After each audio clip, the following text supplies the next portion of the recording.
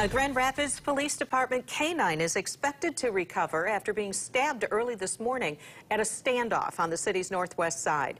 The dog was rushed to an animal hospital where it received a blood transfusion. News 8's Kyle Mitchell is in the newsroom with the latest on the dog's condition. Kyle? Brian and Sue, it's too soon to know if Canine Eli will be able to return to work, but the police chief says the department and dog's handler are grateful he's recovering.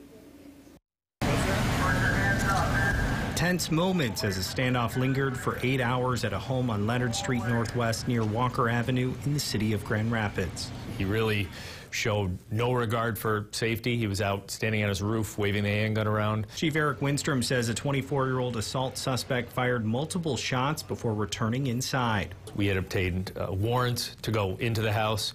We had thrown a phone into the house. We were uh, messaging with loudspeakers to, to, please come out and talk to us. No response. Uh, if anything, he would come to the window and, and taunt the police or taunt his neighbors. At 3 this morning, officers decided to send in Canine Eli. Chief was able to watch a video feed of what happened. As soon as the handler realized that this individual was stabbing him, called the dog back. The dog still ran back, and even the handler told me, he said the dog still wanted to be in that fight. Uh, bleeding profusely, the handler uh, uh, picked the dog up, carried him to a vehicle, and they took him to the 24-hour emergency hospital on Plainfield.